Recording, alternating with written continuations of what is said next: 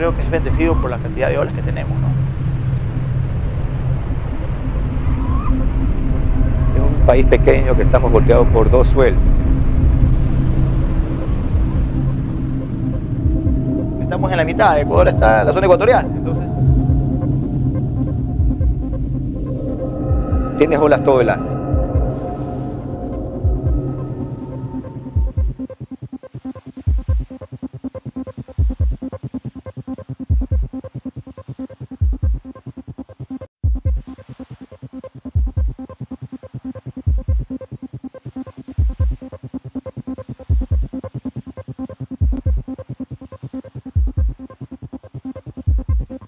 Amor portátil, inalámbrico y sonoro, termina siendo vitamina cualquier modo.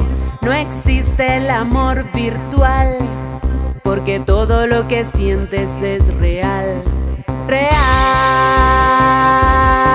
y vitamínico.